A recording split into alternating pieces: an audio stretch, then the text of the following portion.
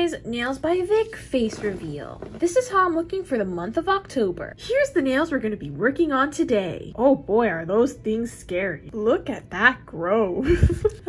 Here, show the camera better. Hey guys, and welcome back to my channel. Welcome if you're new, make sure you hit that subscribe button and let's get right into this video. So today, we have here Sister Spice. And you're like, well, we just saw Sister Spice like a week ago doing these nails actually. It's Halloween time now and Sister Spice needs some Halloween nails. So today we're just going to be doing a fill-in because we're not going to take these nails off. We're just going to take off the design and start from there. So I think you guys will be pretty proud of me for my drawing I made. So I drew all of this myself, but I did get inspiration for some of these designs on like Instagram and Pinterest. We are going to be doing a My Melody and Kuromi Halloween nail set. And here's what I came up with. I think it's pretty good drawing. So for the My Melody hand, this is to be like light pink, glittery, cute Halloween. Actually, I'm not to be showing you the Kuromi side today because it's to be a surprise for the next vid because this is to be a two-part nail video. So here's what we came up with. Um, This is the thumbnail all the way to the pinky nail. And we got a glittery pink base with some pink drips. We have a heart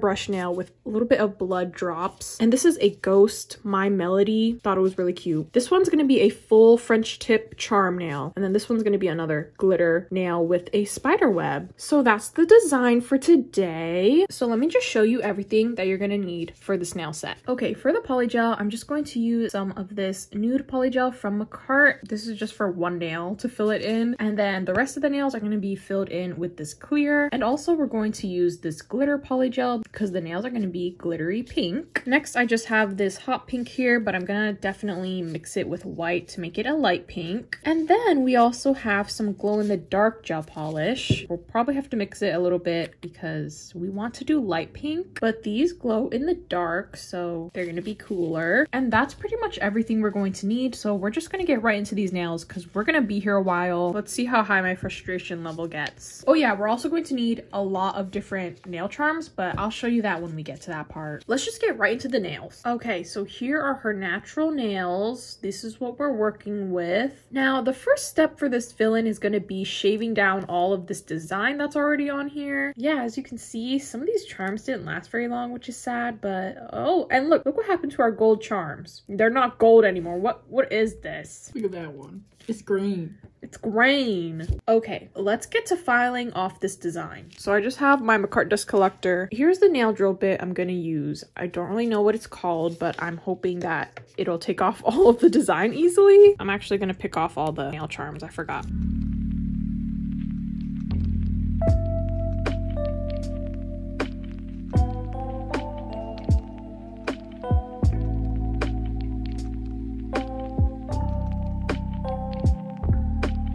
Okay, now let's actually get filing.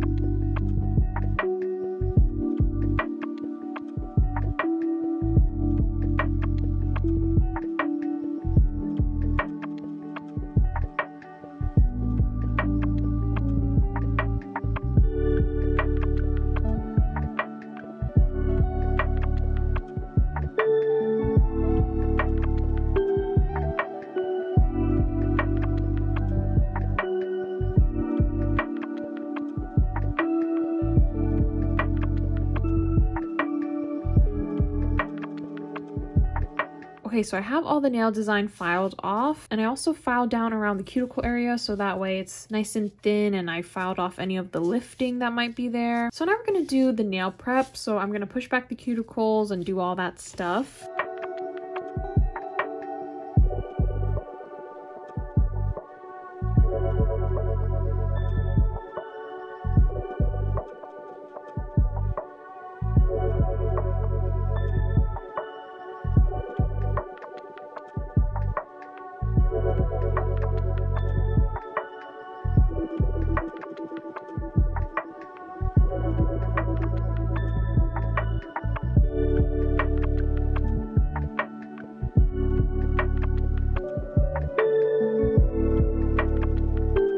Next, I'm going to take this cuticle drill bit and work this around the cuticle areas.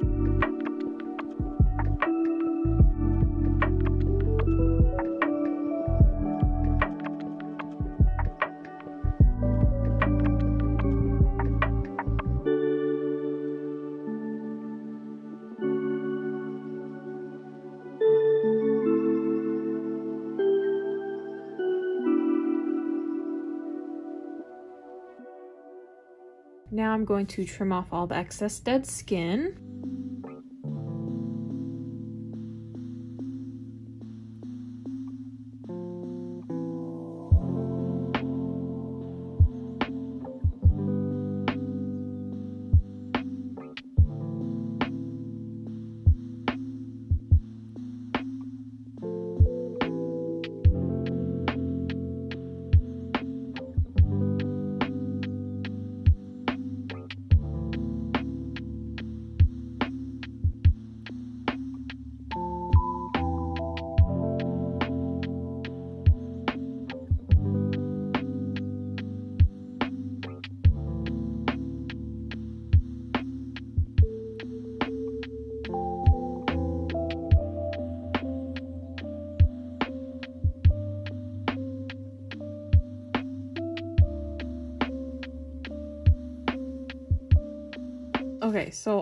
Cuticle area is pretty much good to go. So now I'm just going to clean up the shape just a little. I'm just going to file in the sides to make them a little less lumpy.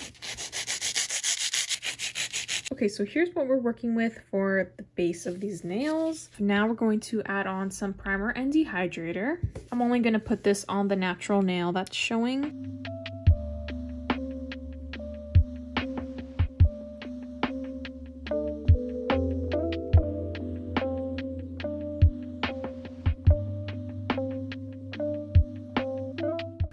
Going to add on a layer of base coat over all the nails.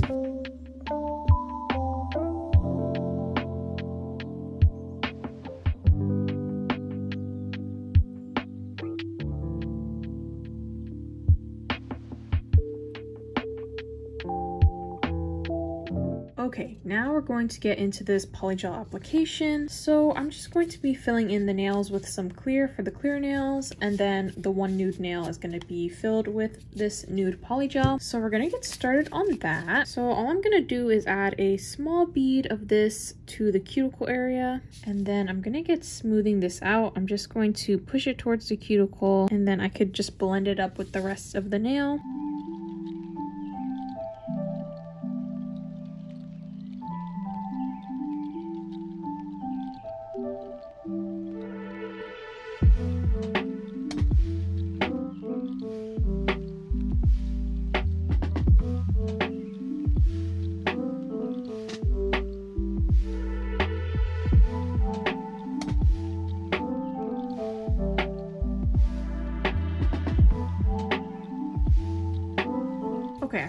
That's pretty good. I'm trying to keep it as thin as I can because I am going to be going over it with that other layer of glitter polygel. I think this is good. I'm going to have her cure this in the nail lamp. Okay, so I'm going to do that for all the rest of the nails. And Sister Spice is going to get into these creepy Reddit stories. Hi guys, it's me, Sister Spice. So I have some spooky Halloween stories and this first one is from the subreddit Ghost Stories and the title is Real Ouija Board Experience. Brought 27 27 to my house. In 2017, five of my friends and I moved into our new house to find we weren't the only ones living there. We'd been looking forward to moving in for almost a year. Second year meant no more cafeteria food, dawns, or public bathrooms, only six friends living together. So I'm gonna assume that maybe they're in school and now they're able to move into a house together. We quickly made the house our home, decorating the walls and hosting a few too many housewarming parties. We felt safe, happy, and comfortable in our new place. Shortly after settling in, my housemates and I heard inexplicable sounds. We'd hear the shower sliding door move on its own, footsteps sounds from upstairs, and the front door open and close. We were suspicious of the sound, but quick to brush them off and continue with our lives. That was until the evening of October 25th. While all six of us were sitting around the dinner table, a pan on the stove began to rock back and forth on its own. We tried to play it off as normal, but nothing could explain the shaking. We decided we had enough. We had to get to the bottom of these strange occurrences. Ten minutes later, we lit a candle and set up our homemade Ouija board in the middle of our table. To use our Ouija board, each player lightly places one finger on the planchette, a wooden triangle used for these ceremonies, and questions the room's spirit. If one is contacted successfully, the planchette moves itself around the board and spells out the word or numbers to answer the question. Is anyone there? We asked the board. No response. We asked again and again, but still no response. After a couple more tries, the planchette dragged itself to the word Yes, we're in on a piece of paper. Once we were sure that there was someone there, we continued to ask questions to find out who exactly we were talking to. What's your name? We asked. Slowly but surely, the planchette moved to the letters A, D, Y until it spelled out Addisot. My housemates and I continued to communicate with him for a few minutes until we felt we were no longer speaking to Addisot. We asked if there was another presence with us, and it turns out there was. This time, the spirit was named Pam, a three year old good spirit, according to her. Realizing there was more than one spirit with us, we asked the board how many there were in our presence. The planchette slid to the number 8. With news of our 8 additional roommates in mind, we decided that that was enough for one night and stopped the game. After looking up the standard conditions of using Ouija boards, my housemates and I discovered we'd broken some rules with our first try. Ouija boards are supposed to open the connection to the spirit world, attracting and inviting spirits from all over. They shouldn't be played at home. If you play where you live and connect with malevolent malevolent spirit, it can stay in your house. Spirits can't be trusted. A spirit can take possession of any players and gain access to their mind. The next night, we decided to break out our Ouija board and play again. This time, when we asked how many spirits were with us, the answer was 27. After asking who is with us a few times, we compiled a list of names. Nudu, Verdu, Luku, Matt, Corey, to name a few. When asking whether or not they had good intentions, Nudu was one of the first to reply with no. I suggest asking Nudu if he'd taken possession of any of us. He answered no until it got to my housemate Emily, and the planchette quickly swiveled over to yes. We put Nudu's answer to the test by asking personal questions about Emily, only that she would know. How many concussions has Emily had? I asked. The planchette made its way over to the number four. We looked over at Emily, who had look of horror on her face. Nudu was right. While Nudu answered the rest of the questions correctly, we couldn't rule out the fact that Emily's hand was on the planchette. Maybe she was purposefully or subconsciously guiding it in a certain direction. We told Emily to take her hand off the board but stay where she was. Then we asked, What is Emily's brother's girlfriend's last name? None of us knew the answer. The board replied, We looked over at Emily and she confirmed it. It was the right name. We were all in disbelief. A few of my housemates decided they were done playing and lifted their fingers off the board without even asking a question. The planchette moved to the corner of the board with only three remaining fingers on the edge of the of the shot glass planchette. We never could have made that happen on our own. Although that was the last time we ever played Ouija, the story doesn't end there. The following weeks were bad. My housemates and I were consistently uneasy in our home. We got especially nervous at night. We all felt as though we were being watched. We saw dark shadows in the corner of our rooms and suffered from horrible nightmares. Emily would often wake up in the middle of the night screaming for help, convinced she saw a figure in front of her bed. One night while I was laying in bed, I heard a noise coming from the window, like someone running nails up and down the wooden blinds. After too many sleepless nights, we decided to hire a medium. Long Island medium. We showed the medium around our house and told her what happened. Although we didn't tell her where we felt the dark spirits, she was able to identify the exact spots we felt their presence most. When the medium described the characteristics of the spirits she sensed, it was exactly the type of presence I'd felt. We'd all agree the spirit was an adult male in his late 20s or early 30s. He was a bit of a loner, Was this Addie Scott? She helped us remove the presents by lighting sage and encouraging him to go towards the light. Go towards the light. Look for the light. We truly felt better afterward. I no longer saw dark shadows in the corner of my room and stopped feeling like I was being watched at night. We thought the spirit listened to us, complied with the medium's instructions, and left. About a week later, when dropping off the payment for the session, the medium told us something that stays with me today. The spirit she'd helped us get rid of was now following her. Although this happened almost a year ago, there's still rarely a day that goes by where I don't think about these events in one way or another. The end. One of the comments said, You guys lifted your fingers? Of course you had problems. There's a whole ritual and set of steps to be completed to have a safe Ouija board experience. My partner and I communicate using the board frequently. It can be safe and educational if you go about it the right way. All the nails are filled in now. P Pinky, come on. P Next thing I'm gonna do is mix together some light pink gel polish. And I'm gonna mix in some clear top coat because we want this color to be a little bit sheer.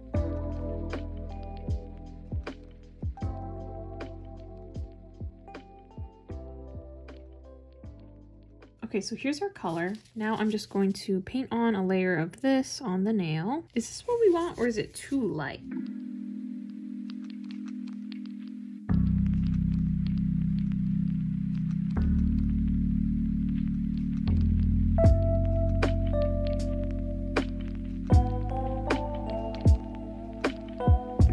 The two colors we created and this one's definitely better. This one's just too light. On the mixing plate, it doesn't look like that. So, alright, this is my next story in the subreddit Creepy Stories. The title, why I Hate Windows at Nighttime. Does anybody want to guess what this one could be about? I think it's gonna be about she sees some type of figure, scary figure at night. And yeah.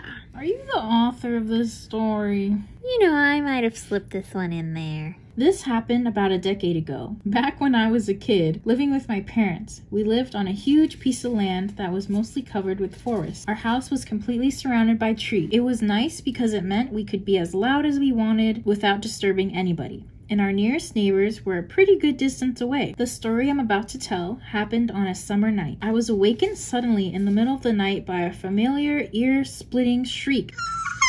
It oh startled oh me. It startled me so badly that I nearly fell out of my bed as my heart jumped out of my chest. I looked around the darkness of my room and saw my five year old brother Ethan. He was flailing around in his bed across the room, kicking and screaming. I slipped out of bed and stumbled as I rushed over to the light switch and flicked it on, and almost instantly he stopped screaming. He kicked off his covers and scrambled to get out of bed. I looked into his face and could see genuine terror as he huddled closer to me, keeping his gaze fixed on the open window above his little bed. I turned him towards me. His eyes are wide and he's hyperventilating. What's the matter, buddy? What was it? I asked him. Before he could answer, my parents burst through the bedroom door. What the heck is going on in here? roared my father, who always hated being awoken before work in the morning. It's Ethan. I think he had a bad dream, I replied. My mother pushed past my father to come look at Ethan, who was still keeping his eyes on the window. She took took him over to my bed and sat him down next to her. What happened, honey? Was it a bad dream? Ethan didn't reply. Instead, he motioned towards the open window. Did you see something out here, buddy? My father asked him, walking over to his window to have a look. It was a man.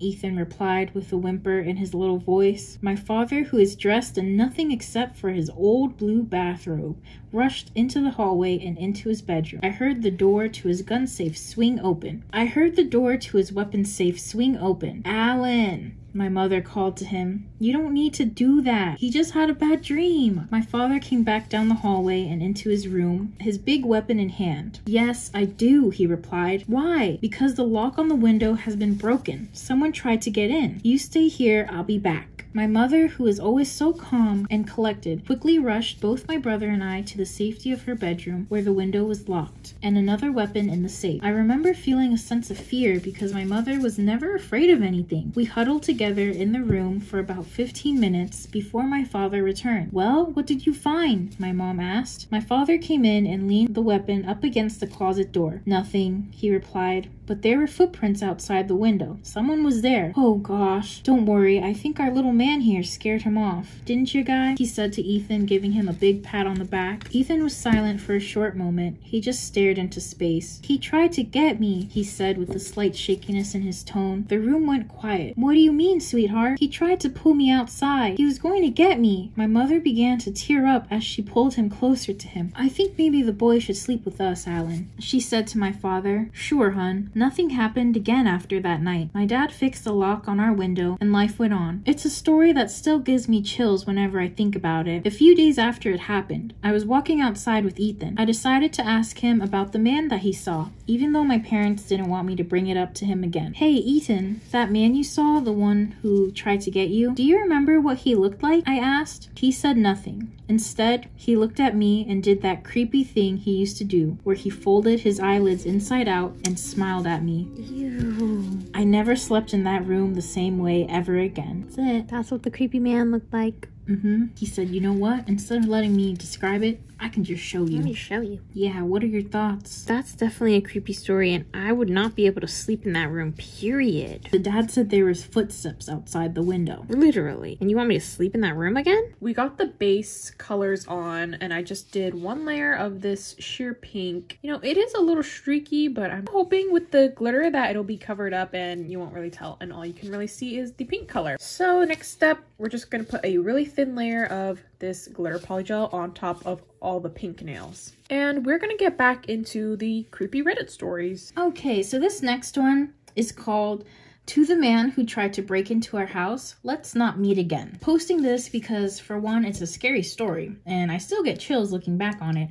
And for two, our dogs honestly saved our lives that night and deserve some more recognition. So, this whole time this thing happened when I was maybe 12, and I'm nearly 17 now. Me and my sister, who was 14 or 15 at the time, were staying home alone while our parents were at our little brother's hockey game. We lived in a fairly safe neighborhood, hardly anything ever happened. Everybody knew everybody, and almost everyone got along well and liked each other. So, we felt safe and didn't have a reason not to. Our front door was locked, our back door was locked, but our side door didn't lock. It was broken. But no one ever used it anyway, so my dad hadn't gotten around to fixing it. Er, e- even the more case to fix it. Me and my sister were in the living room watching TV and doing homework when we heard the fence around our house start making some noise. It sounded like someone had jumped over the fence. So my sister looked through the blinds, and sure enough, someone had jumped over the fence. Two people actually. They were dressed in mostly black and had hospital like mask over their face. We freaked out and hid in between the couches in our living room. When we heard the front doorknob wiggle, of course it was locked, so it didn't open. But we knew whoever it was would go to the side door next, and that one would open. In that moment, I was the most terrified I had ever been. But once the door handle started jiggling loud enough, my dogs had woken up. At the time, I had a Tosa and a Rottweiler. Once one started barking, so did the other. And eventually, it was pure chaos. That's when we heard them scream, Oh, poop, they got dogs. Then we heard the fence make the same noise as if someone jumped over it again. Later that night, a local gas station near my house got robbed by two armed men, and the news reports showed the same people we had seen. Same outfits and everything, except this time we got to see their faces. Our dogs truly may have saved our lives that night. The funny thing is, our dogs are the biggest lovers. They may be loud and bark, but they wouldn't bite or attack anybody. This is the one time I'm very glad these dog breeds are associated with being, quote, scary and aggressive, end quote. Because clearly they scared off whoever wanted to break in that night. The end. Let's- On let's another ditch. episode of Dumb Robbers. on another episode of Dumb Robbers. So the day started off really nice. I woke up in my stolen Gucci bag and then got out, unzipped the bag, got out, went to the bathroom, brushed my teeth with my Louis Vuitton toothbrush. I don't want to watch Dumb Robbers. All right, so this next one is called I worked as a hotel night guard guard and I have to follow these weird rules. I will be honest, it's giving. Is that Freddy Fazbear? Arr, arr, arr, arr. Come and apply at Mary Hotel. We pay $150 a week. I looked at the advertisement and thought about it. I didn't have much money, so I quickly applied. And after a few days, I received a phone call, ring, ring, ring, saying I'm hired. I immediately went to the hotel, and a man was sitting on the couch in the lobby. He looked at me and greeted me warmly. Hey there, welcome. I hope you work well. He then showed me around the hotel and gave me a guard uniform. I went to change, and the man was gone. I knew what I had to do, so I just went to the security room. When I entered, there were a few surveillance monitors and a paper next to a phone. I looked at the paper, and on the paper was a set of rules. Number one, do not look at camera 5 at 9 p.m. Bro, this is Freddy Fazbear. Hello? Hello? Number 2, at 10:10 p.m., conduct a patrol around the hotel. If you see a man in the lobby wearing a suit, he will smile at you and ask, "Where are you going to?" Do not answer him. Just ignore him and continue your patrol until 10:50 p.m. Number 3. Once it turns 11:50, your phone will ring, but do not answer it. Number 4. By 12 a.m., you will hear knocking on your door. Hey, hey, sound effects, they're, they're scary. Just ignore it and continue your shift. Number 5. At 1:30, you'll have to conduct another patrol, but you'll only have to patrol the basement. Once you reach the basement, do not look at the old rusted mirror on your left. If Oh, you great. How am I gonna avoid all this? If you hear growling, quickly boot out of the basement and close the door behind you. After that, lock it and head back to your security office. If you do not hear growling in the basement, you may leave after 20 seconds. And remember to lock the door. If you hear dripping noises at any point of time, do not even look behind you until it stops. Number 7. During 3 a.m. to 4 a.m., you will start to feel sleepy, but you must not fall asleep, as you will be dead if you fall asleep. Number 8. At 5 a.m., those creatures will try to kill you, and they don't want you out of here alive, so the power source will be cut out only to your office. And once that happens, crawl under your desk and close your eyes. You might hear your door open, even if it's locked. Just keep your eyes closed. Do not open your eyes, and by 6 a.m., your shift is over, and an alarm will ring, signaling that it is safe to open your eyes and head back home. Anyways, thank you for working at Mary Hotel, and we hope you enjoy your day.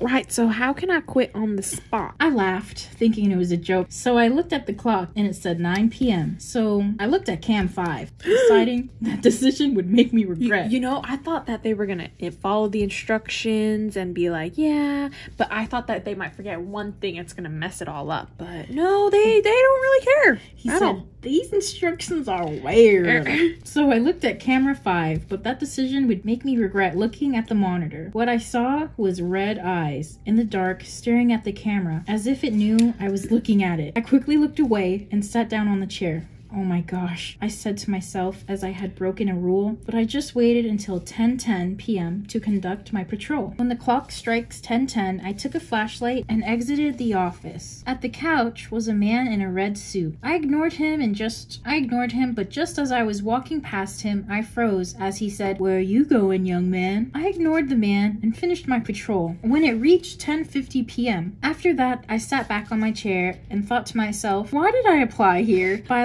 11:50, my phone rang, ring, ring, ring, ring, ring, and I jumped, but I just ignored it until the ringing stopped. When it was 12, my door started knocking which made me froze for 20 seconds, then ignoring it until the knocking stopped. Once the knocking stopped, I heaved a sigh of relief. Hooray! After that, I waited until 1:30, where I left the office again and had to enter the basement. I turned on my flashlight, but it could barely illuminate the dark area and it sent chills down my spine. Just as I was about to step on the old wooden floor, I heard a growling. And so my fight or flight kicked in and I ran. Just as I turned left, I saw a little bit of that rusted. Oh no! and I ran, but just as I turned left, I saw a little bit of that rusted mirror, and all I could see was me, but hanged? I didn't care about that mirror, and I just ran once I was out of the basement. I slammed that goddamn door shut and locked it away. I was running away from the basement door to the security office, and when I entered, I felt a sense of relief and sat down, but remembered that I had to be in the basement for 20 seconds or more. Plus, I looked at the mirror, which left me paralyzed with fear, and I just stared at camera 6 and felt even more fear. When the dripping started behind me, I looked at the clock. It showed 1:59, so I waited. When it reached 3 a.m., the dripping noises stopped, and I also felt very sleepy, but I tried to stay awake until 4, which failed. So I laid my head down, and just as I started dozing off, something whispered in my ear, which made me jump. I looked at the clock, and it was 4:59. As soon as the clock hit 5, I quickly crawled under my desk and closed my eyes falling asleep until an alarm woke me up. It was 6 a.m. and I changed back to my normal clothes. I changed. Finished, I left the area and headed back home. When I reached home, I sat down in my couch and kind of thought it was a fun experience until my bedroom door creaked open. The end. Okay, so here's how the nails are looking after all the polygels on. Now we're going to get into shaping. I just have my Makartt dust collector and a hand file, and yeah, we're just going to reshape these nails.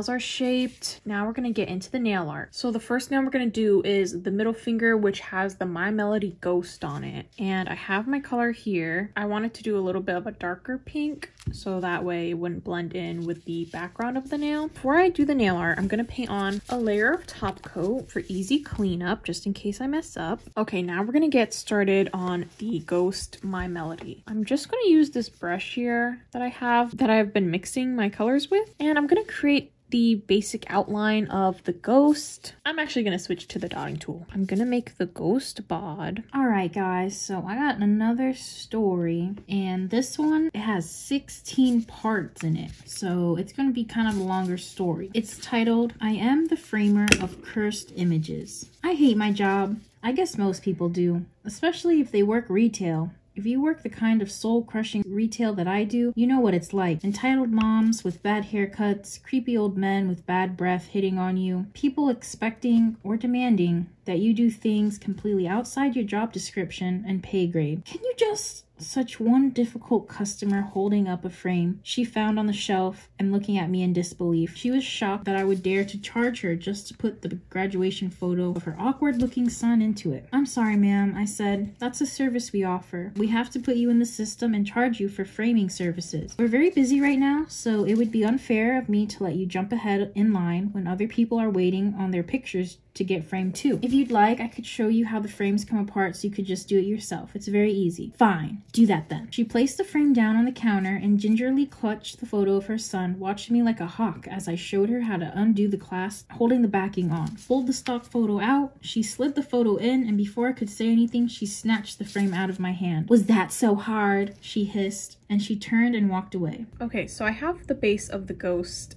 done and we're just gonna cure it's just the ghost shape no ears no arms yet so we're just taking this one layer at a time okay now i'm gonna add on the ears and the little arm nub And no, it wasn't hard, but getting rid of her was the goal anyways. And now she's gone, so I felt okay about it. As she approached the sales counter at the front of the store to pay for the frame, she turned to me and scoffed. Ugh, if you're so busy, why did you have the time to argue with me anyways? I sighed and looked down at my paperwork again. I had 83 frames to produce that week, and there were four days left. And on an average day, I can produce 12. So according to corporate math, I was doing all right and didn't need to bring in extra hours. I'm sure this all sounds familiar if you work corporate retail. All in all, despite the heavy workload and the strange angry customers, it was generally pretty boring and repetitive. But after ugly graduation sun lady, another customer approached the framing department counter. She was a little strange looking for several reasons. I couldn't pinpoint like where she was from. Her features were exotic. She was probably Asian, presumably somehow, but Asian is pretty broad category. The thing is, I wasn't able to pinpoint her down any further than that. She could have been Japanese or Tibetan. She could have been Japanese or Tibetan or Indian or even Ukraine for all I could figure. She looked like all of those things and none of them at the same time. I tried to put it out of my mind, feeling that obsession this much over someone was kind of gross, creepy, problematic. I thought with a mental snicker. I need to get this fixed, she said plainly, and out of nowhere produced this enormous box. It's what we call a shadow box. A shadow box is like an ordinary frame, but the space between the glass and the artwork has been expanded. It's deep. The frame is usually about two inches deep, but they can go even deeper. This one had to be about three inches deep.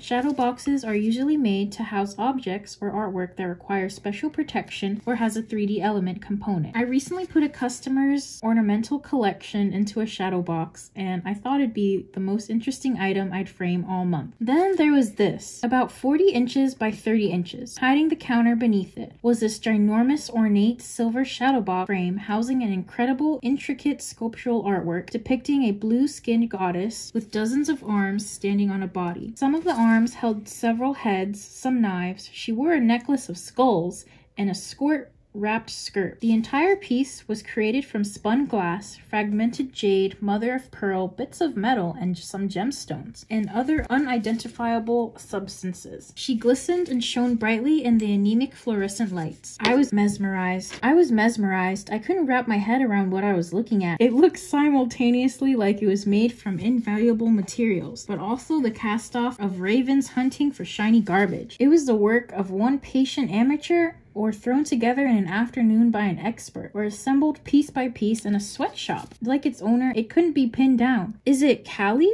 I asked, trying to sound nonchalant and conversational, but my voice cracked and whispered. Hi, side note. Kali is like a mythological goddess, if you're confused, because I was. I thought he was naming the customer. Yes. Do you think it can be repaired? Of course, I breathed, losing myself in the gut-wrenching beauty of the image. I mean, we would first... I'd, um... I caught myself, blinked, forced my eyes away. Wait, where's the damage? She pointed at the bottom corner of the box, where a loose piece of mother of pearl laid by itself. Skimming the image, I quickly spotted where it had fallen from. It was supposed to be a seaside cliff in the background. Is that all? Yes, not a big complicated, right? You can fix it. Now, I want you to understand that I wasn't swayed by a beautiful woman in distress, nor by professional pride. I'm not that kind of guy. I'm really not, trust me, and it's strictly against policy to do repair work on a customer's artwork. We only frame it. So it was to my surprise that my mouth opened and a yes fell out. Writing up her order on the computer was an exercise in lying to a machine to make it down to what you wanted to do, and I felt like I was watching it all happen in a dysfunctional fugue. I charged for assembly slash disassembly and object mounting. We were supposed to be making all in-shop work six days because of our heavy volume, but I found myself telling her it would be ready tomorrow. I cursed quietly at myself in my head while smiling dreamily and taking her money. I was acting like I'd fallen in love at first sight, not with the customer, but with Kali, the artwork. She signed for the work and walked out smiling gracefully while I stood sweating bullets behind the counter with Kali in front of me. I carried the box back into the frame shop behind the counter, grunting a little. How'd she hoist it so easily? I couldn't understand. I'm a big guy and I work out, but this thing threatened to flatten me if it fell on me. I sat it down carefully on the work table, heaved it over its front, and examined the back. I had other work I should have tackled first, but I knew this would probably take me a while, and I had to have it ready by tomorrow. I cursed again and again under my breath, still unable to believe how foolish I was. Under the tape and paper, the backing of the frame was held in place with dozens of tiny nails. We don't use them anymore, but they're typical and older frames and had to have been removed carefully with needle nose pliers. Once the backing was free, I hugged the whole assembly in my arms and prayed under my breath after I turned it face up again. I heard something rattle loose, probably the chunk of mother pearl, and I felt a bead of sweat run down the side of my face. I lifted the frame and glass away from the backing and it came apart cleanly. There she was, exposed to air for the first time in probably decades. Kali's eyes seemed to catch my own as though she knew what I was doing and was sizing up my worthiness. I put the frame aside and took a minute to bask in her terrifying beauty. I tried to dredge up some history about Kali from memory, but wasn't sure about it. Wasn't she the consort of Shiva?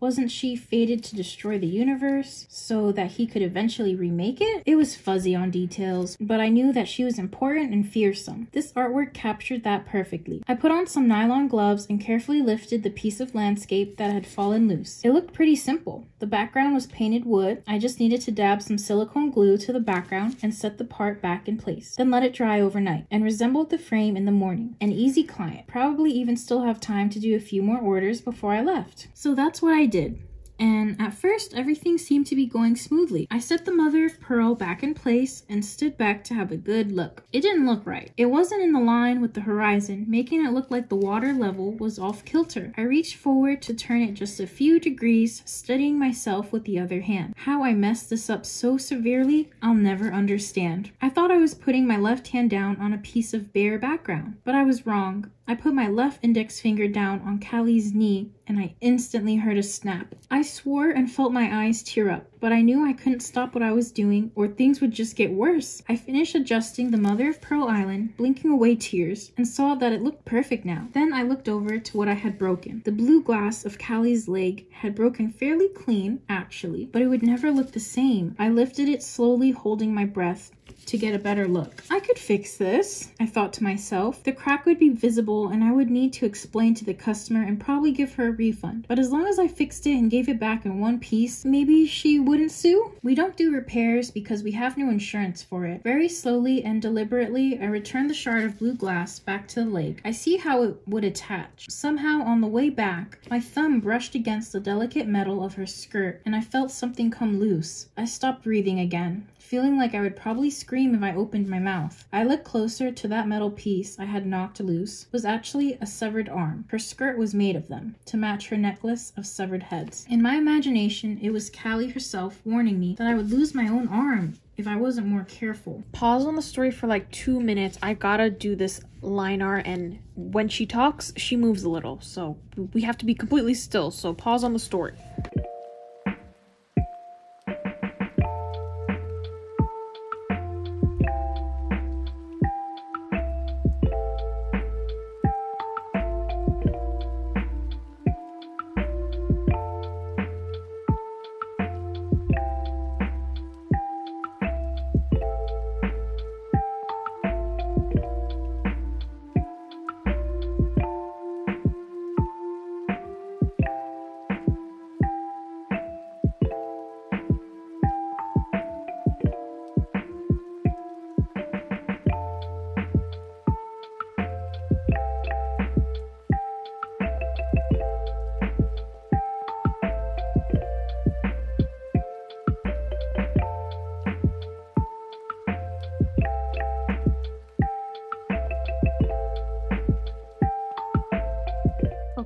Here's how my melody turned out. I stopped, stood back, and thought it through. I needed to plan this out, and the tools in the shop wouldn't cut it. I went into the store's proper we're an art supply store, so we carry the things I would need. I bought a pair of rubber tipped tweezers and a tube of superglue, paying out of my own pocket out of guilt. I went back into the shop and went about fixing the mistakes I made. I applied the superglue carefully to the blue glass and held it in place with the tweezers. And once it was set, the crack was barely noticeable. I breathed a sigh of relief and went about repairing the arm. As you can probably guess at this point, things didn't go well. It looked like it was going to be okay, but I was so tense and nervous that my arm slipped and my right wrist fell right onto Kali's face. I don't cry much. Before this night, I think I probably hadn't cried in years since my mother passed away, but the tension was so high and my unexpected attachment to this artwork so sudden that I couldn't hold back. I let out a guttural yell and just started bawling openly. Still so concerned with the artwork that I averted my face to the side to avoid any tears landing on it and wrecking it further. Janice, the cashier on till, came into the back to see what was going on. She found me there with the broken goddess in front of me, crying like a little kid and wasn't sure what to say. Are you alright? she asked, sounding stunned. No, I replied, shaking my head and wiping my tears. Anything I can do? No, this is just, I mean, I'll do what I can, but I think I'm in big trouble. Marion is going to kill me, then fire me, then probably kill me again. I laughed weakly. She awkwardly put a hand on my shoulder and tried to comfort me, which worked a little. Thank you. I'm going to try and, I guess, fix it. Okay, let me know if you need anything. Piecing the face back together is a bit of a blur. I remember it turned out better than I expected. My expectations were very low to start with. It didn't look great. Once it was done, I didn't even know what to look at. After my shift, I bought a 2 4 pack of soda, settled on my couch, and drank until I didn't remember. My phone had just enough juice to wake me up the next morning. The morning routine included vomiting, drinking two Gatorades, coffee at the drive through, crying again in the parking lot outside of work, and sulking towards the, the framing counter like I was headed towards my execution, and couldn't believe that my own two legs were taking me there. I had barely finished reassembling the damaged artwork when I heard the counter bell behind me. I turned around to see her standing there and I swallowed hard. I can't tell you exactly what I said. It was a rambling, apologetic, pathetic mess of words. She just stood there, unsurprised, unreacting. I said something about how sorry I was, how we usually don't do repairs, how I would give her her full refund, and like an idiot, I practically begged her not to take us to court. Her stoic, dark eyed expression didn't change. May I see it, please? she asked calmly. I picked it up off the work table, brought it to her, setting it down gently on the counter. I, uh, the damage was. I gestured feebly at the face, the knee. It was obvious where the damage was. Her expression finally changed, just very slightly. I could tell from my own mother the look of restrained disappointment. She kept trying to look me in the eye, but I couldn't bring myself to look back. She put her hand on the side of the the frame. I'll give you a full refund, I stammered again. That won't be necessary. At the very least, let me wrap it up for you. That won't be necessary. I'm so, so sorry. I felt tears coming from my eyes again. That won't be necessary either. Finally, I looked her in the eyes. There was so much anger and disapproval in those eyes, but also underneath it, all kinds of pity. I felt like I was looking into Kali's own eyes. Your karma will be brought back into balance. I'm not worried. You will repay what you have done, and all will be forgiven. After the price is taken out of your soul. A long, deep breath passed as we looked at each other. I didn't understand what was happening. Are, are you going to take us to court? I asked naively. She just shook her head, picked up the box, and walked out with it as though it weighed no more than a sheet of paper. It was after that day that the cursed images started coming. A few days later, I was trying to put the whole incident behind me. I consoled myself by telling myself that I wasn't the first person to break a client's artwork, that she'd taken the situation really well, considering that I was in the clear now I never told anyone what happened. Janice knew since she watched my breakdown that night, but she never brought it up again. Presumably, she never told our boss Marion. I promised myself I would never take a client like that again. At night, when I closed my eyes and tried to sleep, Kali's face came to me, still cracked and clumsily glued back together. I didn't sleep much. The first couple of days, I fell even further behind and I had to start calling clients to let them know their orders would be late. The third day, however, I began to get caught up and things seemed like they were going to be okay. Veronica, who cut all of our framed pieces at our off site warehouse, caught up as well. I began working in earnest, slicing up mat board and scoring glass more efficiently than I had before. Orders came together looking pristine and professional. That shift went by smoothly, and I even began to forget about my guilt. It crept back, though, now and again when I realized that somewhere out of there was a blue goddess with a broken face in someone's house, probably never to be hanged up on a wall again, or maybe being taken to an actual restorer to be properly repaired. When I had these thoughts, a tinge of guilt hit the pit of my stomach, and I had to take a breath and focus on my work again. After all, it was over. At 4.55 that Friday evening, five minutes before the end of my shift, of course, a new client approached the counter. I took a deep sigh and put on my fake customer service smile and mentally said goodbye to an early evening of relaxing with bad movies and cheap soda. On average, making a new frame order takes about half an hour, but most clients acted like it was a five minute process. I saw the stack of brown envelopes that she was holding and realized that it would be even worse. We had a series of frames to do. Hi there, I tried to say, but the middle aged woman with big dark sunglasses and an asymmetrical bob cut interrupted before I could get that much out. I need these framed. How much will it cost? I looked down at the stack in her hand. I haven't even seen the items yet. For God's sake, let alone counted them, measured them, and settled on a design for her. That will depend on a lot of factors, I said, trying to sound cheery and helpful, such as the type of glass, the type of frame. Regular glass, she interrupted again. How much? I clenched my jaw and tried to relax it into a smile. Literally anywhere between $50 and $1,500. Why don't we have a look? Go through the options available and try to fit the design to your style and budget. She huffed and set the envelopes down. I put on my white gloves and opened them carefully, pulling them out smoothly to prevent any creases. It was far too late for these old photos though. Some of them look like they've been stored on the floor of my car. I've had them for a long time. Never got around to getting them framed until now. That's fine. We'll, we'll make them look good, I promise. The first three were photos of a young man, including two awkward acne-coated school photos with a strained smile, and much more relaxed and natural photos of him sitting on a rock beach in his swim trunks. He wasn't ugly, but he wasn't the kind of face you hang up all over your wall, unless you were his mother. They seemed like odd things to get custom framed, and being standard 8x10 and 5x7 prints, and her obsession with the price, I assumed that she would end up buying a cheap plastic frame at Walmart. The third print, however, was not nearly as standard. As I pulled it out of the envelope, I could already see that it was not a standard size. This one would require a custom frame. When I pulled it out, I let out an unintentional gasp. I've seen a lot of strange things in the last few years that I've been a framer, from kindergarten diplomas to war medals to wedding dresses, but I'd never seen anything like this. I'm going to fail to really describe this properly to give you the deeply unsettling feeling it gave me, but I'll try. The photograph was taken at night, poorly, using a regular camera with a built-in flash. It might have been a cell phone. Either way, there was clearly dust on the lens, giving the whole image an eerie, grainy, high contrast look. The scene was on an asphalt road in front of a club, I think. There was a line of people waiting to get in. There were vehicles parked on the road. Centered in the image was an old red truck. In front of the truck was the focus of the scene. Two men in uniform. They didn't look like police, maybe paramedics. One of them kneeling on the back of a thin, shirtless man in blue jeans who faced down on the pavement. He was pulling the man's scrawny arms behind his back. The other uniformed man was kneeling on the ground next to him, face turned to the camera, smiling, giving two thumbs up. The shirtless man face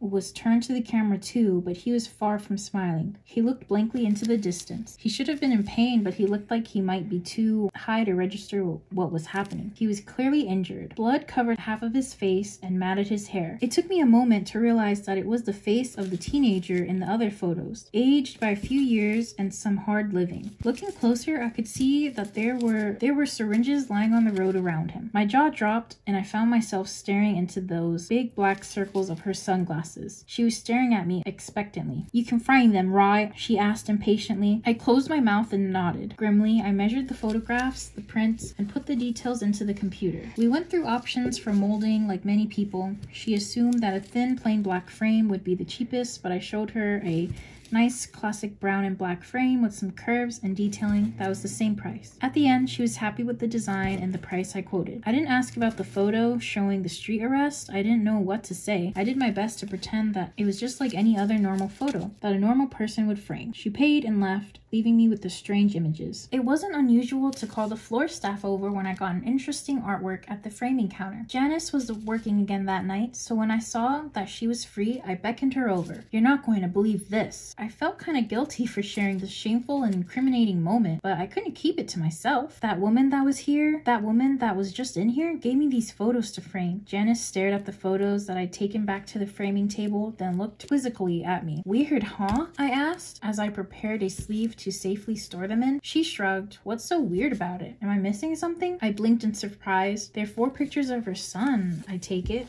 Probably, yeah. I don't see what's so weird about it. Looks like this one was taken at the reservoir bar outside of town, she said, pointing at a rocky beach. What about this one? I asked, pointing at the arrest scene. She shrugged. It's a neat old truck. My eyes went wide and my jaw dropped again. How could she not be seeing it? But what's happening in front of the truck? I demanded. She looked at me strangely again. She seems really uncomfortable now. It's just some guy posing with his truck. Big deal. Probably some farm kid. My jaw opened and closed, but I couldn't think of anything to say I suddenly realized that whatever image she was seeing on the sheet of glossy paper, it wasn't the same as what I was seeing. The elements were similar, obviously, but whatever she saw was normal to her.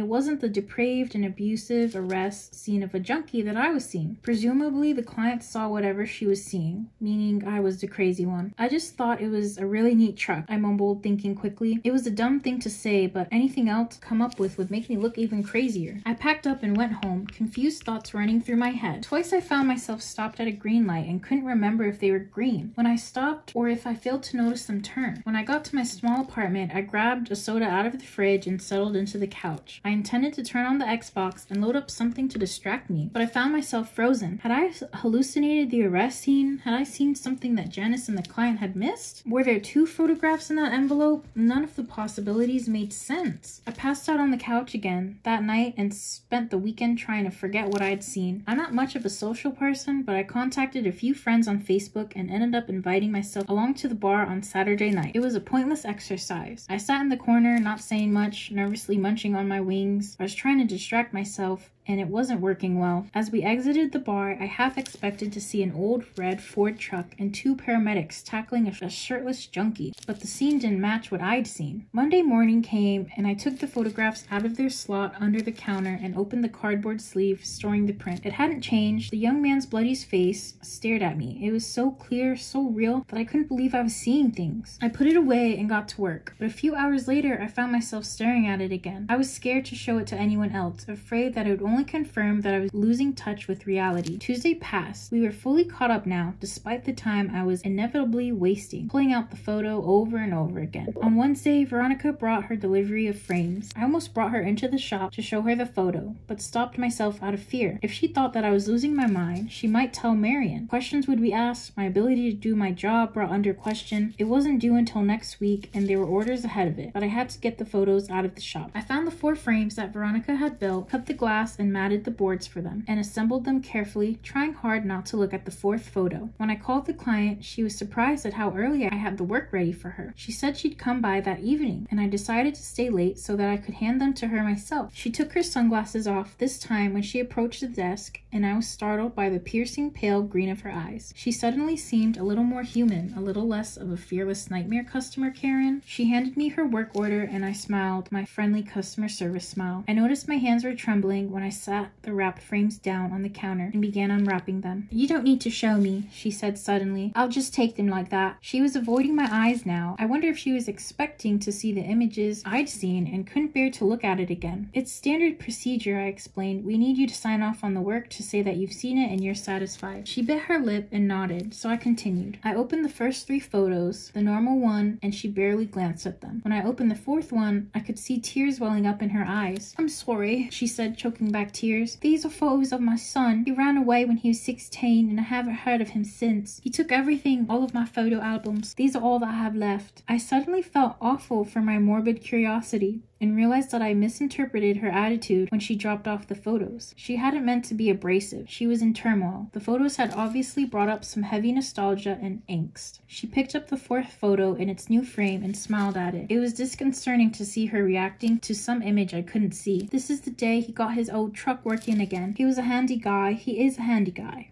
wherever he is. I hope he's okay. I doubt it. I couldn't say anything to her about it. She left with the four photos, and I felt like I'd been punched in the gut. The photo of the woman's son being arrested during a junkie binge wasn't an isolated incident. Since I broke the portrait of Kali, they kept coming. I wasn't getting much sleep. I broke the artwork of Kali on Tuesday, September 3rd, and her owner announced the curse on me the next day. The first cursed image crossed my counter on Friday, September 6th. On Thursday, September 12th, two different cursed orders came in. The first arrived around 9:30 a.m. I know this because I was just finishing my morning paperwork. I remembered I was grouchy and sore from lack of sleep and overwork, and I had coffee at the counter even though this was normally forbidden. As I saw the customer approaching, I quickly placed it on the shelf under the counter to hide it. I recognized him. He had come by about a month or two ago. I think he'd been framing something his son painted, making a good show of being a proud father. Although honestly, the painting was not that great. It was a portrait, though it took me a minute to figure out what it was supposed to be an image of, the man standing before me. When he approached the counter, I had a moment of dread, thinking that he was coming back angry for a refund and that my sale for the day was about to be wrecked. Next nail is the pointer finger. So this one has the airbrush tarts. I'm gonna take some white airbrush paint, put that in there. I have these stencils here that I'm gonna use.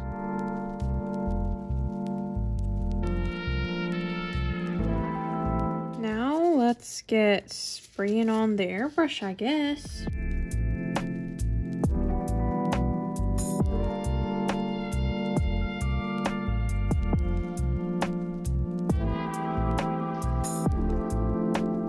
Here is how the airbrush heart nail turned out. I think it turned out pretty good. Now I'm going to do the charm nail and just add all of the charms on the nail. Let me just pick out all the charms. But then I realized that he was carrying a new unframed painting, a returning customer, the best kind. They know what to expect and know how much it will cost. I don't think my soul could take another look of disgust at our prices. They're actually very reasonable, but people tend to underestimate the cost of materials and labor that goes into framing. And on top of that, people are generally cheap. I smiled up at him. I would have loved to greet him by his name, but I rarely bother to remember customers' names. There are so many, and I try to use my mental labor on more pressing things. I cringed when he addressed me by my name, and I had to ask his to look him up on the computer. You did such a good job at the last one, he gushed as I pulled up his information. I decided I wanted to get as many of my son's paintings framed as I could. That's really sweet of you, I said back, putting on my best customer service voice. We take a lot of pride in our work. I was really impressed with this one, he said, pulling the 16 by 20 inch dollar store canvas out of his bag. My heart sank when I looked to see what he had set down on the counter. It was another portrait in the same style as the last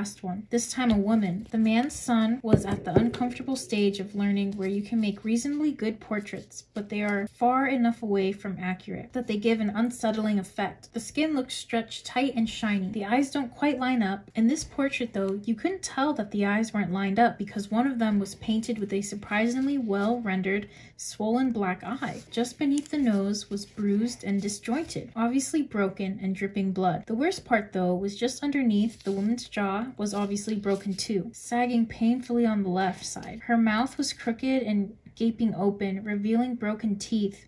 She looked like she'd just been hit by a train, but decided to pose patiently and calmly for this portrait. Or worse, that she was dead. I had to turn away quickly, trying hard to disguise my disgust and discomfort. I felt my stomach This wasn't at all like the gore of, of, a horror movie. It was so anatomical, so realistic, I felt my own jaw ache. The man was looking at me, a little confused. I knew that he was seeing a different image one where the portrait of his presumed wife was uninjured and smiling patiently. He's improving, I said, suddenly trying to cover the awkward moment. I mean, the first one you brought me showed some real skill, but he's getting even better. His smile returned. You think so? I think so too. I went through the molding options with him and we settled on one that complemented her eyes. We went through the usual process of payment, receipt, due date, and well wishings. The moment he stepped out the door, I walked swiftly to the front of the store where Jackson was working. He was stocking some shelves and hummed along with the music he'd put on. Jackson, I hissed, I need you to come to framing for a remeasure. He gave me that same look Janice had given me, the expression of confusion and forced calm that you'd give when you visit patients in a psychiatric ward. But he followed me to the work table in the back, put on white gloves, and grabbed a tape measure. This one here, he asked, looks like a standard 16 by 20 to me. I just want to make sure, I lied. He hummed as he extended the tape and began checking the measurements. He was looking right at the painting, not reacting. Interesting artwork, huh? I said conversationally. Not bad. Pretty amateur, but shows promise. What do you think of the eyes? He shrugged. Not bad. He didn't add the life. You know, the little reflections that make the eyes look alive and moist? I wanted to grab him by his shoulders and shake him and scream, How do you not see this? He painted his mother like he'd been slammed in, in the face with a 2 by 4 16 by 20, just like it looks. He set the tape measure down and took off his gloves. I just wanted to make sure. No worries, anytime. Anything else you need? I shifted on my feet a bit. I was craving some sense of normalcy. At that moment, I guess. How did your project go? Huh? Oh, you mean in the color theory class? Good. I handed in yesterday. I thought about your advice to go for a minimal palette, but then I noticed a lot of other students in the class were going that direction. I decided to do something different. Thanks for the advice, though. Yeah, no problem. Good luck on that. Thanks. We stared at each other for a moment, unsure if there was anything else to be said. Um, I'll be at the front if you need anything, he said, and walked off humming. I put the painting away in the cardboard sleeve, grateful to not have to look at it again until it was framed for arrival. The reprieve didn't last, though. After lunch, the third one arrived. The woman seemed very somber and stressed, a haunted look in her eyes and a tendency to check the time on her phone fairly regularly. She came to the counter with a large brown envelope, the kind you get from the print shop. You do framing here, right? I felt like making some kind of smart remark, but I caught myself. She was definitely not in the mood for humor. We sure do, I said hopefully. What do you have for us today? She pulled the photo carefully out of the envelope and set it down on the counter. It took me a moment to recognize that I was looking at another one. This photo was a scene in a forest in fall. There was a man standing next to a shed, undoing a combination lock. He was surrounded by a pale aspen tree and golden leaves. It was kind of stunning for a second until my eyes settled on the shape on the ground the man's feet. There was a lump shape tied up tightly in a blue tarp. It would have seemed fairly innocent until I noticed the arm and head sticking out of the tarp. She was dark haired and deathly pale, obviously dead, her complexion gone, her arms stuck out of the tarp next to her head, unnatural angle, and her eyes and mouth were wide open. I made eye contact with the woman at the counter. It's my dad. He always loves hunting. I don't suppose you can have it ready by Tuesday? His funeral is Wednesday, and we wanted this photo by the casket. I swallowed hard. I did some quick mental calculations. Yes, Veronica hated rush orders, but we were caught up and could do it. I'm sorry about your loss. Sure, we can have it ready by Tuesday. Let me take a photo to put in the computer, and we'll pick out a nice frame to go with it. As before, the image on the computer screen matched what I saw, though when I turned the screen to her, she continued to see the real image, presumably of her father holding his weapon and standing next to the deer. No matter how I squinted or stared, all I could see is him about to stow away some young woman's dead body in the shed. I took her payment, gave her a due date, and called Veronica right away with the measurements and molding type. She sounded irritated as usual, but she said she'd start on it right away. Now alone, I opened the order back up on the computer and stared at the photo again. It seemed so real, so detailed. My eyes traveled over and over the scene, trying to pick out details that would reveal the hallucination. How was my brain lying? lying to me like this? Had I actually lost my mind? Finally, I caught it. I noticed the important detail I ignored before. There is a number in the bottom right hand corner written with fine point marker in tiny writing. I had assumed it was a date before, but now I was paying attention. I realized it couldn't be. It was 143218. That couldn't be a date, but it could be a combination lock code. I realized that this image wasn't a hallucination, it was some kind of message. After making sure that nobody was nearby to interrupt or catch me doing it, I opened my browser and started searching for missing persons. It took a few minutes to find the photo on the website of the police station a few counties away away, but instantly I knew it was the same face. I jotted down all the important information on the sheet of tape, and as soon as my shift ended, I hurried down the street to one of my few actual working payphones. I slammed three quarters in and dialed. Wheatland County, RCMP, how can I direct your call? Hi there, I don't want to stay on the line longer than necessary, so please grab a paper and pen. I want to make an anonymous tip about Andrea Nurin. I think I know what happened to her. I spilled it all the last name of the man in the photograph, the description of the scene, the combination of for the lock. I could hear her writing furiously on the other end. How do you know all this? she asked. I had a vision at work. I didn't say, I just hung up. I don't normally follow the news, but when the story broke about the eight bodies found wrapped in blue tarp in a hunter's shed in the woods, and the suspected murderer being identified as the recently deceased father of my client, you didn't have to follow the news. Everyone was talking about it. By September 16th, I wasn't sleeping much. News about the murder of Andrea Nurin was just starting to prelocate through my newsfeed bubble. Part of me felt pride for helping to solve the case, part of me just wanted it to be all over. I had the uneasy feeling that they would just keep coming. First thing this morning, a woman came to my counter asking for an 11 inch by 16 inch frame. That's not a standard size, but we can build it for you custom. Do you have the artwork with you? It felt like such a practice line that I could repeat it in my sleep, which was a good thing, considering that I felt barely awake. What? No, it's at home. It's not an artwork. It's a photo of my youngest son. He still lives back in India.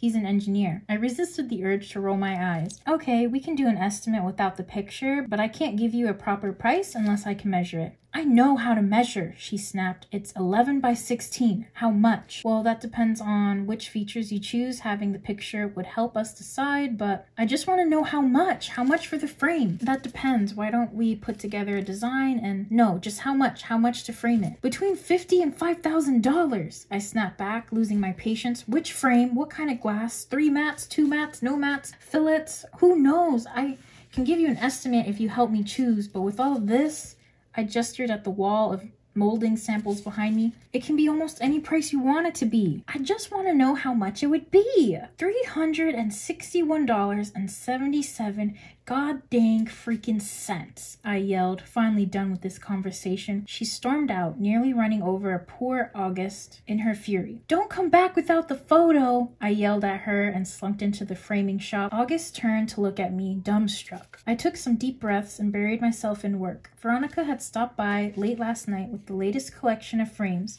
including the bland, dark stained wooden frame that matched the eyes of the woman in the painted portrait. I pulled out the artwork in its cardboard sleeve and took the deep breath before opening it, hoping that reality had turned to normal in the last few days. Nope, there she was, badly bruised eye, broken nose, dislocated jaw, realistic blood, matted hair, busted teeth. I tried to avoid looking directly at her. Instead, I concentrated on the frame. I applied alum- aluminum backing, sealing tape, and adhesive rabbet foam taped to the inside to ensure that the artwork would never touch the frame itself. I turned the painting over mercifully, hiding that face, and lowered it gently inside. I was using a handful of offsets to fasten the frame to the painting with screws and cordless drills when I heard a gentle knock at the threshold to the frame shop, and I was just about to jump out of my skin. It was August. She looked of motherly concern on her face. Are you doing okay? She asked gently when I stared dumbfounded at her. She added, you seemed upset earlier. I stared at her for a moment, wondering how to reply. I felt like we barely knew each other as coworkers, but I suddenly wanted to pour my heart out to her, to tell her everything about the horrible things that I'd seen, about the recent revelations that were connecting somehow to reality, and the uncertainty I was feeling about what I was supposed to do, but I couldn't. Janice told me about blue glass painting. If that was what's bothering you, she offered. Blue glass painting? I asked, lost. She said it was big, some sort of weird woman with lots of arms. This probably will strike you as ridiculous at this point, but I hadn't made the connection between the ruined artwork and the strange things that I've been seeing. So much has happened at once that I hadn't stopped to put all of it together. It probably doesn't help that I hadn't slept more than three hours or so a night for over two weeks now. August must have seen my eyes go wide at the point, but misinterpreted the meaning. It's okay, she said quickly. She didn't mean to gossip. We're both just worried about you. I know I'd be pretty shaken up if I, I mean, if a customer's artwork broke like that. It would have seemed impossible, really. I pride myself on being a very cynical, skeptical kind of person. I don't believe in curses or karma or anything like that, but now I realized that something really had happened.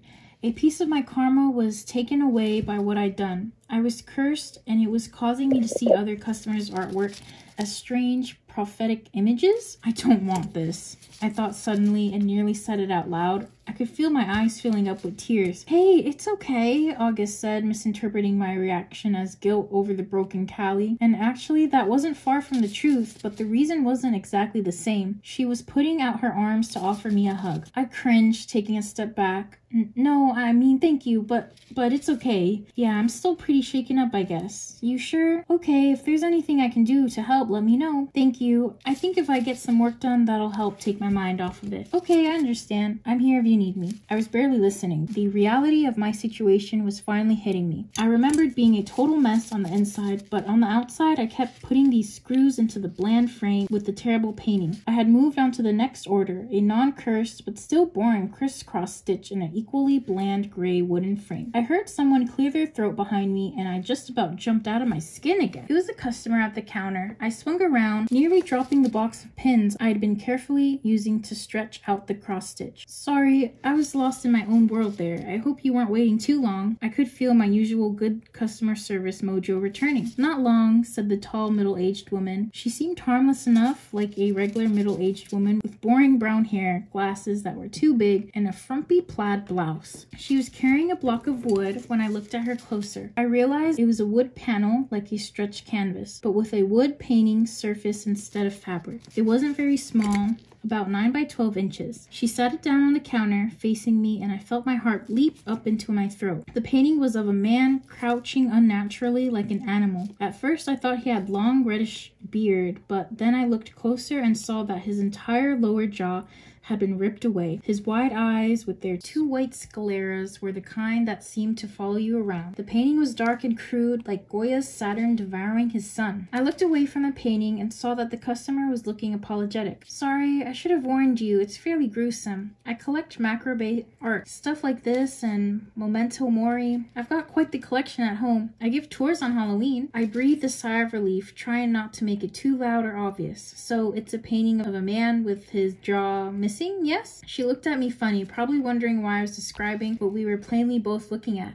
Yes, I hope you're not too uncomfortable with it. My previous framer closed shop and I wasn't sure how easy it would be to find a replacement. It's not a problem at all, I said happily and started showing her the options. I was starting to wonder if the curse had run its course. Now that I'd seen three of the pictures, I was feeling optimistic as I finished the transaction and took the jawless man to the back. So I didn't notice anything out of the ordinary when a man in his mid-twenties walked in next, came straight to the framing counter, beaming ear to ear and unrolled a certificate in front of me. I assumed assumed at first that it was his degree, but when I looked down to read it, I saw that it was actually a death certificate. Hi there, he said cheerily.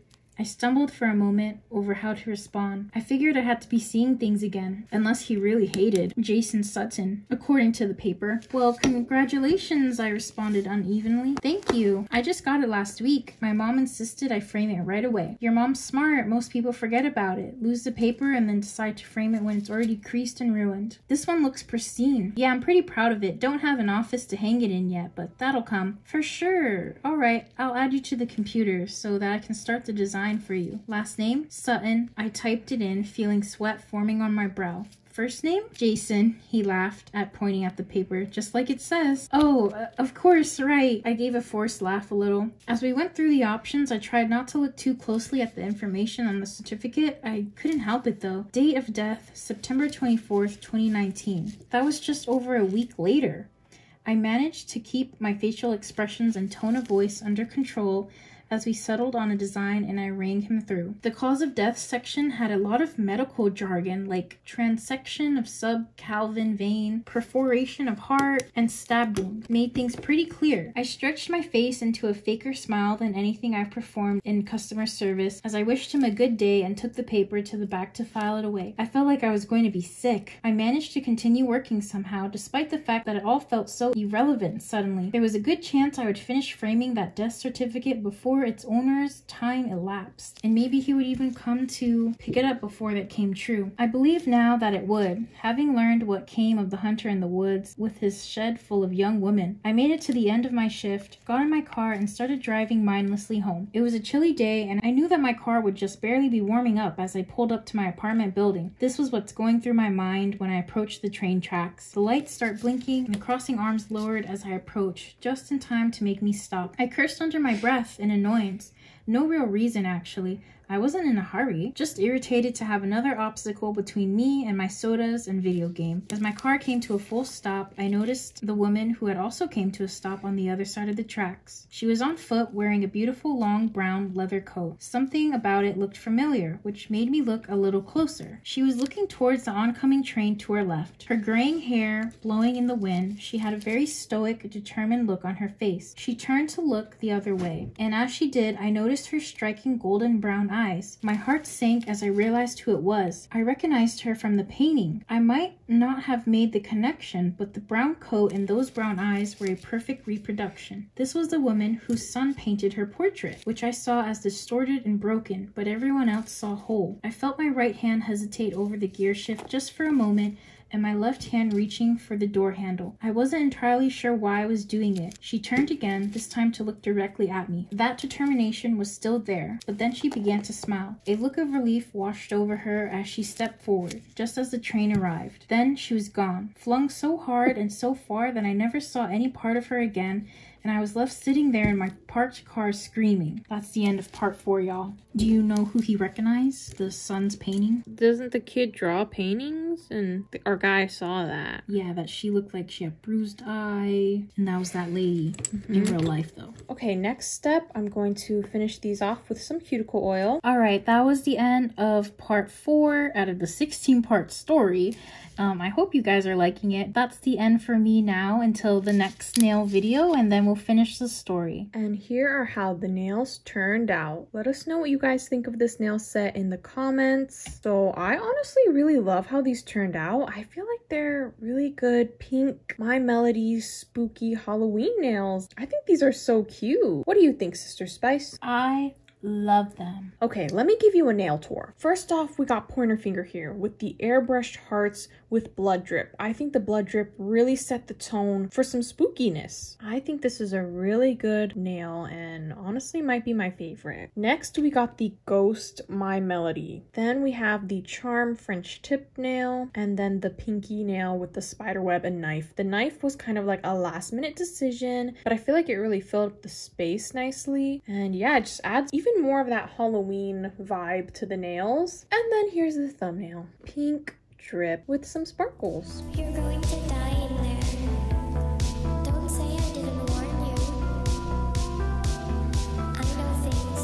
Okay, now we gotta get to the part that we're really excited for. The glow in the dark. So the glow doesn't last too long, but still you get the idea. So the My Melody ghost face glows and her bow and the spiderweb and the blood on the knife. I didn't make these blood drops on the heart nail glow in the dark, but I wish I did, but I wasn't really thinking about that. And also the thumbnail glows in the dark. Pink drip and some sparkles. I'm coming for you. I'm going to be there, watching you.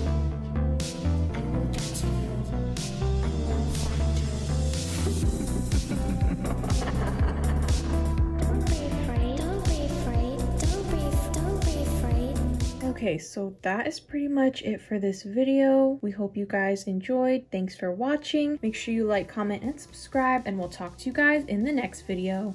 Bye!